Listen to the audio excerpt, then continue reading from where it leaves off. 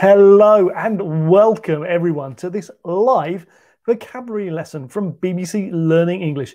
I'm Phil and I'm here in my house in London. And today we're going to look at some expressions that can be used to talk about climate change, but you can also use them in your everyday life. Now, you may have seen some of them on the preview video that I put up about half an hour ago, but don't worry if not, we'll see them again in a minute. Now, before we start, just to remind you, this is a live lesson, so you can invite anyone you want to join in. But also, that means you can participate. I'm going to ask you lots of questions as we go through, and really, I'd love you to join in in the comments. In fact, you could start straight away just by saying hi and saying where you're watching from. Um, rather like Ali from Somalia, who said hi, or Fatih from Turkey, who said hi. Okay, hi, do tell us where you're watching from. We are going to post the whole lesson up afterwards on our Facebook and our YouTube channel so you can watch it again and again and again as many times as you want. And if you are watching that replay, hi, thank you for joining in. If you're watching the replay, you can answer the questions as well. Do please join in in the comments, share with your friends, and do make sure you're subscribed to and following us so you don't miss any of these lessons in future. Okay, just a couple of highs people. We've got Lada from Philippines, um, Jai from India. Hello, Misna from Sh Sri Lanka. Oh, I couldn't get your comment on the screen. And Emily from Dubai. Hello, welcome all of you that are watching. Thank you for joining in. I do keep saying where you're watching from. It's lovely to see just how many people are here. Okay, so let's get started. Right.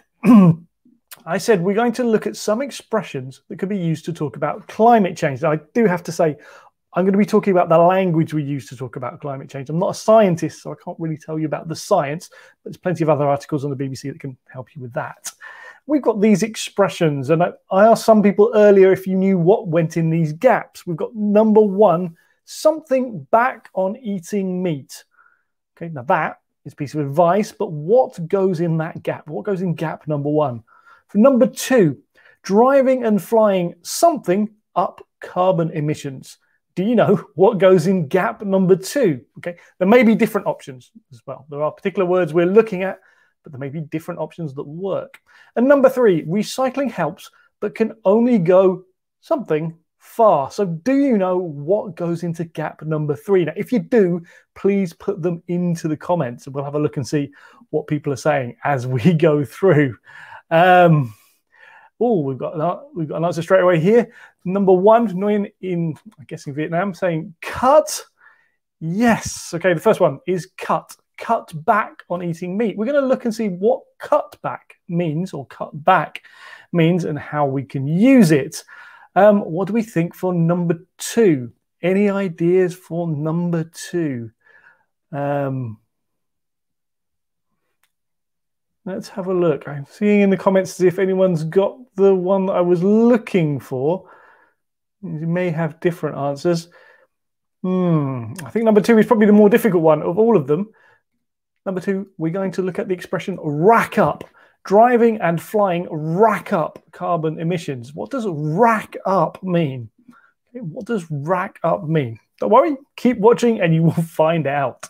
Okay, number three. I can see quite a few people are getting the answer for number three, actually. Um, number three, let's have a look. So Akila here said, so, yes, recycling helps, but can only go so far. When do we use this expression, can only go so far? Well, we'll find out in a minute. Don't worry. All will be revealed in this episode of Vocabulary Live from BBC Learning English. I'm Phil here in London, and we're going to be looking at these expressions throughout this lesson. Okay, do join in in the comments as we ask questions, um, and do share your own examples and how you can use these this vocabulary yourself. It'd be great to see what you can say. Um, as I said, do, do say hi, rather like uh, Monica from Taiwan has said hello in the comments. Do keep saying hi. It's great to see where you're watching from. Okay, let's start. So we said we'd look at cut back first. Um, if what does cut back mean? Do if you think you know, do say in the comments what you think cut back means, how we use cut back. Okay. I'm going to say to uh, cut back on something, if we're using it as a verb, is to do something less or to reduce something. Okay, to do something less or to reduce something is to cut back. Okay, um, I've seen some people in the comments saying it's to stop.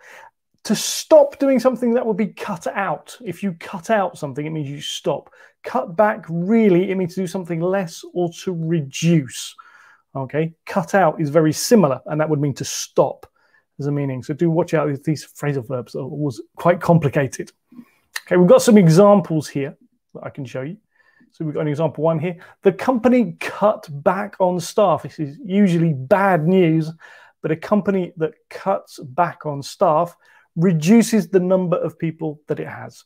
So if it cuts back on staff, it gets rid of some of the staff. It reduces the number of staff that it has. That's one way we use cut back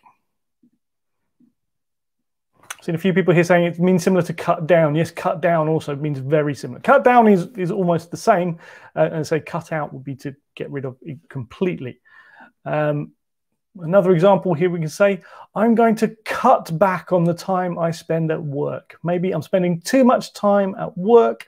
I want to spend some more time with my family I'm going to cut back on the time I spend at work. And we also, as I say earlier, we looked at the example. If we're looking at um, things about climate change, a lot of the things I read said a good way to help um, fight climate change is to cut back on eating meat, to reduce the amount of meat that you eat. Okay, you might also cut out eating meat, being to stop. Okay, I've got some questions coming up now because I want to test to make sure that you, you, you, know what they mean. So let's have a look at these questions. Let's look at the first question now. So question one, I want to cut back on watching TV. Hmm, I want to cut back on watching TV. Now, we've got three options here. You put the number of the option you think it is in the comments. So number one is I should stop watching TV. Number two is I would watch less TV if I could. And number three is I should watch less TV. Put in the comments what you think the answer is. If you have just joined us, this is Vocabulary Live from BBC Learning English, and I'm Phil. And we're looking at some expressions that we've used to talk about climate change, and we're also looking to see how you can use them to talk about other things. And one of the expressions we're looking at is the verb, phrasal verb, cut back. I want to cut back on watching TV. Now, what does it mean? We've got three options here. Put the option you think it is in the comments. Let's have a look. We've got some answers flowing in already. Lots of answers. Um, Kuyanko says it's number three. Um, Loredana also saying number three. Um, we've got a number one from Mata Rivas here. Ironman's not sure, two or three, maybe. What do you think? Um, Cynthia saying number three. Um, Wani also number three. Okay, we've got lots of answers coming in. Do keep them coming in. The answer here, because most people got, is number three. If you want to cut back on watching TV, it means you think you're watching too much and you should watch less. And it doesn't mean you should stop, which would be number one. If you stop watching TV, that would be if you, I, I need to cut out TV. I need to cut out watching TV, but it's not cut out, it's cut back. So I should watch less TV. Excellent. Great work. Okay, we've got another question with cutback now. What do you think on this one? I've cut back on my expenses. I've cut back on my expenses. Now, what does that mean? Does it mean number one, I've stopped spending money? Does it mean number two, I'm spending less money? Or does it mean number three, I'm saving money? Now, you may find that all three of them are true, but what does cut back here actually mean? Okay, is it one, two, or three? If you have just joined us, this is a live vocabulary lesson from BBC Learning English. It is happening right now, so do invite any of your friends to watch. Um, also, if you miss something, don't worry. The whole lesson will be posted up on our Facebook page and our YouTube channel afterwards, and you can go through again and watch it as many times as you want. And if you are watching the replay, hi, thank you for joining in.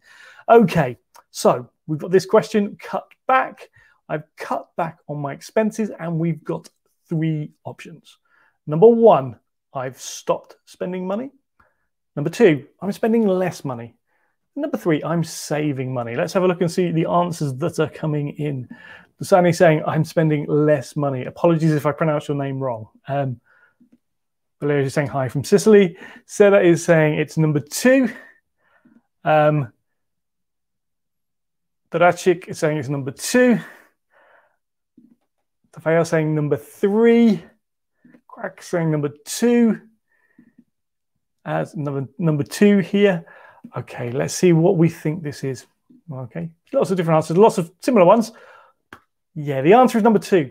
I'm spending less money. I'm spending less money. Now, it may be that you've stopped spending money completely, but if you're cutting back, we said it normally means to reduce it.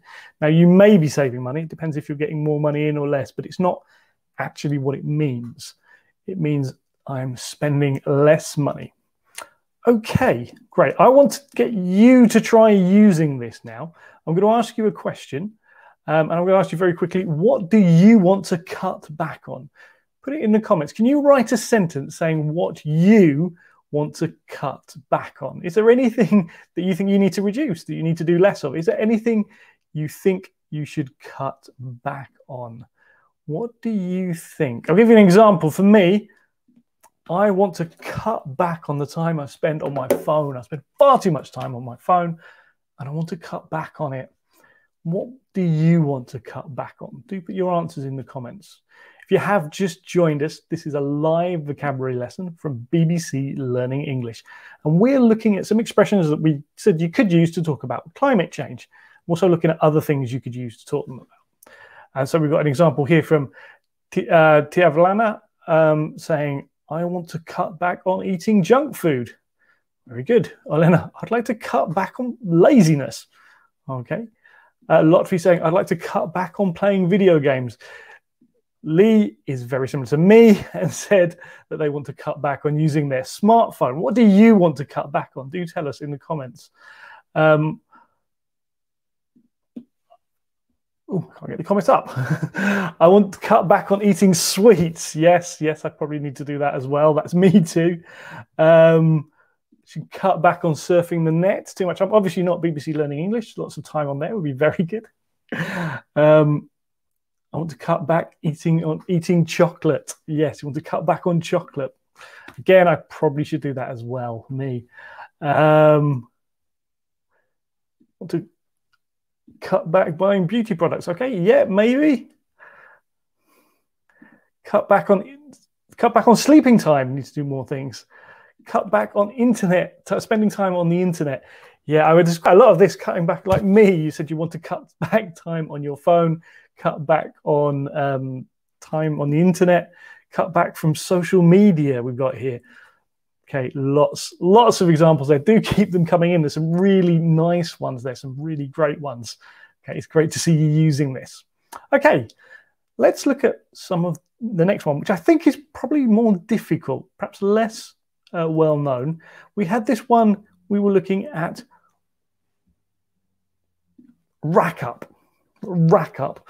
Does anyone know what it means? Driving and flying rack up carbon emissions. What do you think that means, rack up? What do you think? Any ideas? Oh, sorry, I'll take this banner off. We don't need that there. Any ideas what rack up means? Driving and flying rack up carbon emissions. So we again, this was looking at climate change and it had suggestions of actions that people can take to reduce their impact on climate change. And it pointed out that driving and flying rack up carbon um, emissions. A few answers. It's the idea to register a large amount of something, to register a large amount of something. I think I probably need to give a couple of examples to make this clearer. Um, so we've got a few ideas sort of around increase. It's related to increase. Emitting would work in that sentence, but it's not really what it means. Um, you could say something like this It's bad. The problems keep racking up. Is the idea you get more and more problems. You can see the problems in front of you getting more they're, you're just getting more and more of them. Accumulate is a word that a lot of people have mentioned. Accumulate. Yes the problems keep accumulating. They keep racking up. They keep registering. Okay. Um, the company racked up impressive profits this year. So it can be a good thing. It's not necessarily a bad thing. You can rack up impressive profits try saying that again. You can rack up impressive profits, and it means that they've shown really high profits. If anyone saw the last vocabulary live lesson we did, we were talking about football. You could talk about a striker in a game of football or a striker over a season racks up a large number of goals. They register a lot of them. they get a lot of them. Okay. I think we should look at some questions to uh, check how well you understand this. Let's have a look at the first one here. I racked up a lot of time at work. Now we've got three options for this one. I spent many hours at work. I worked really hard, or I'm really tired. Okay, what do you think the answer should be for this? If you have just joined us, this is a vocabulary lesson, a live vocabulary lesson from BBC Learning English, and I'm Phil here in my house in London. Um, it's a live lesson, so do please join in with the comments and uh, with, with your comments and answer the questions. Also, you can just say hi and say where you're watching from. We've got loads of people watching now. So 1100, nearly 1200 of you at the moment, which is, that's amazing. Okay, so we've got this. I racked up a lot of time at work. Is it number one, I spend many hours at work? Number two, I worked really hard. Or number three, I'm really tired. Now, it, all three of those may be true, but one of them fits in with what racked up means here. Okay, we've got ooh, number one, number one. Omid saying number one. Um, is also saying number one. TD saying number one. Okay, I think everyone is going for number one by the looks of things. And yes, I spent many hours at work. Now, you might have worked really hard and you might be really tired.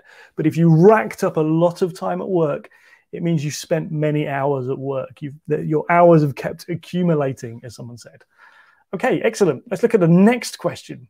We racked up a massive bill in the restaurant. We racked up a massive bill in the restaurant. Hope this hasn't happened to you. Does it mean we ordered a lot of things? That's number one. Does it mean we were there for a long time? Number two. And does it mean three, we spent a lot of money? Now, of course, there's lots of situations where all three of these can be true, but which is the one that racked up means? Which does it relate to? Number one, number two, or number three? Put your answer into the comments. So if you have just joined us, this is a live vocabulary lesson from BBC Learning English. Um, we're going to post this whole lesson up after as soon as we finish. So don't worry, you can always watch again and see any bits that you've missed. If you are watching that replay, hello, thanks for joining in. You can, of course, share it with your friends. And it's great when people do that. We love it. Okay, right, let's see what the answer is here. I'm getting, oh, I'm getting lots of people are going for number three. I've got Fung saying number three, Shamaka saying number three, um, Ida is saying number three, Eva is saying number three. Um, Tafael is saying number three. Okay. I think we've got the answer for this one. I think I think we got the answer. So we're also saying number three. Mohammed saying number three. Yeah, of course, the number three. We racked up a massive bill in the restaurant. We it means you spent a lot of money. You get the bill and it's just got all the things you've bought on it, and it comes to a lot of money. You racked up a massive bill. Okay, excellent. Right, again, I want to see your sentences. So I'm going to ask you another question, and I want you to write these sentences in the comments. Okay, we've been talking a little bit about climate change, and we said that, that driving and flying are things that can rack up carbon emissions. Do you know, or do you do anything that racks up carbon emissions as well? Is there anything you do that racks up carbon emissions? Do tell us, do answer and shows your sentences. We'll share the best sentences as you go through. An example I've got here, heating my house racks up carbon emissions, okay? Heating my house racks up carbon emissions. It's not very easy to heat it. It's not very efficient. And I probably spend far too much energy on it. What about you? Is there anything you do that racks up carbon emissions? Do share them in the comments. If you have just joined us, this is a live vocabulary lesson from BBC Learning English. Um, why don't you invite your friends to join in? Um, I'm Phil, I'm here in London, and we're looking at vocabulary that can be used to talk about climate change and other things. And the expression we're looking at here is rack up, or the verb we're looking at is rack up. We're trying to work out what it means. See lots of comments coming in here. Let's see if there's any sentences we've got here. Um, car fumes rack up carbon emissions. Yes, they create lots of them. Um, using plastic bags racks up the amount of pollution that's in the sea. Yeah, we could probably use that one. Um, driving my bike racks up, presumably motorbike, racks up carbon emissions. Yes. Burning plastic racks up carbon emissions. It causes lots of them. Um, causes lots of them. Okay, excessive use of vehicles. I can see there from Charlotte. Excessive use of vehicles racks up uh, carbon emissions. Burning wood racks up carbon emissions. It causes lots of them. Yes. Okay. Fantastic. Right, let's move on to the third phrase. The third one we were looking at is this. Was only only go so far. Recycling helps, but can only go so far. Now, what do you think only go so far means? Any idea? What do you think only go so far means? Any ideas? Okay. Definition I would say for only go so far, I think a good definition is to have a limited effect. To have a limited effect. Okay, recycling helps, but can only go so far. Got a few ideas here. Not far enough, um, Vitali has said here. Not far enough, which, yes, yes, it kind of means the same thing. To have a limited effect, it doesn't go far enough. It doesn't do enough. Can only go to a limit, as Akila has said here. Okay, excellent. to some extent, Alia has said here. Yes. Okay. Yeah, all of these are kind of in the right areas. It's this idea if you can only go so far, it has a limited effect. So, for example, talent only goes so far. You need to work hard. You might be brilliant at something, but if you want to be successful, your talent only goes so far. You have to work hard as well. Okay, it has a limited effect. Another example could be if you're trying to fix something for someone or you're trying to help someone. I can only go so far with this. You need to find an expert. Okay, I can't talk about the science around climate change. I can only go so far. You need to talk to an expert. Okay, I'm not an expert on it. So yeah, it's to a limited extent to have a limited effect um, a lot of the definitions you've been suggesting also work and they work very well. Okay, so you know what's coming. Let's have a look at some questions. Okay, remember, answer the questions in the comments. We've got this one. You may agree or disagree with this one. Learning from books can only go so far. We've got three options. Books can take you a long way. Some things can't be learnt from books, or books don't help you learn. You may agree or disagree with any of these points, but which is the one that means the same as only go so far? Which one would you put there? Learning from books can only go so far. Which one is it? One, two, or three? What do you think? Hmm, got lots of answers coming up here. A one here, two. Maybe I'm saying two. TD saying two. Samia saying two. Louisa saying two. Okay. Um, but it's going to take you a long way. Number one. Let's have a look and see what the answer is. Okay. Okay, the answer was number two. A lot of you said that. Some things can't be learned from books. If we say learning from books can only go so far, it means you can learn maybe lots of things from books, but perhaps you need to learn other things as well, or perhaps you need to practice doing something, or you need to do it yourself. Now, you may agree with that, you might not, but it's that it's not enough on its own. You need to do more things. You can see some great comments flashing past of people saying things like this. But books can certainly take you a long way, but learning from them can only go so far. Yeah, excellent, Enrique. That's a really good comment. Okay. And number three was just not right. Books don't help you learn. It doesn't mean that. We're not saying that here. It is saying that books are helpful, but they don't do everything. Okay. And when we look at climate change, it was talking about recycling is helpful, but it can't do everything. And it's not the only thing that you can do. Okay.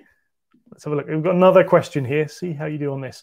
Healthy eating can only go so far if you're trying to, I know, you're trying to get fit or trying to improve your health. Healthy eating can only go so far, some people might say. Okay. What do you think the answer is? Healthy eating is the best thing? There's no point eating healthily you need to do something else as well. One, two, or three. What do you think? If you have just joined us, this is a live lesson from BBC Learning English. all about vocabulary. We were looking at some vocabulary that could be used to talk about climate change, and we're looking at how else we can use it in our everyday life and for different things. Um, and we've got a question here about the expression only go so far. So if someone was to say healthy eating can only go so far, are they saying healthy eating is the best thing? There's no point eating healthily, or you need to do something else as well. What are they saying? What do you think? Let's have a look in the comments. Ooh, we've got lots of, we've got a few different ones. We've got number two here, number three, number one, another number three from Irina here. Yaran is saying number one. Um, Omid is saying number three. Coffee is saying number three. Okay, we've got a few different things coming up here. Let's have a look, see what the answer is. The answer is you need to do something else as well. It's the same as we have with book le learning from books can only go so far. Healthy eating can only go so far. Maybe you need to do exercise as well or other things. Again, I'm not a doctor. I can't talk about the science of it, but this is what it means. You need to do something else as well. It's it's not. It doesn't do everything. It, it's does it to a certain extent, as somebody said in the comments earlier. Excellent. Okay, very good. I've seen lots of number threes coming in here, so lots of you got the right answer. Really well done. Okay, so again, I want to see your sentences now. What can you put in here? You think, what things do you think only go so far to help the climate? We were talking about climate change earlier. We said recycling only goes so far to help the climate. Is there anything else you could say only goes so far? And one thing I read said that individual actions can only go so far, that people need to act together to do things. But maybe there are other things that you think can only go so far. Do put your sentences into the comments. We'll have a look uh, and see. If you have just joined, this is a vocabulary live lesson from BBC Learning English. We will be posting the whole lesson up on our Facebook and YouTube channels as soon as we finished. So if you want to watch any bits again, you can just go back and watch over and over and over. Oh, it's a great one here. Learning English by following BBC Learning English can only go so far. Yeah, that's probably true. you probably need to practice as well. You can do a lot with BBC Learning English, though, of course. Okay. Planting trees can only go so far to help with climate change. Planting trees can only go so far. Um, cutting back on littering can only go so far. These are all good things to do, and they're all they're all helpful things, but they only go so far. Okay, any others? The, Electric cars can only go so far reducing carbon dioxide. Electric cars can only go so far. Funding is only going to go so far to help the climate from Kalamjit there. Um, efforts of the government can only go so far. Says Latvinder. Sensitizing people about pollution can only go so far. Okay, reduce using plastic bags can only go so far. Okay, excellent, lovely examples. Have got any more?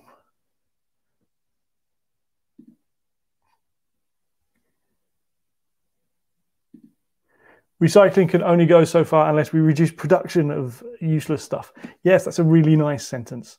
Okay. Um, I'm just having a look for any others. Stop stop polluting rivers and lakes can only go so far. Okay, and we use this to say it doesn't do everything. Okay, it doesn't mean that these are bad things at all. Okay. We've got a few other examples using other contexts here.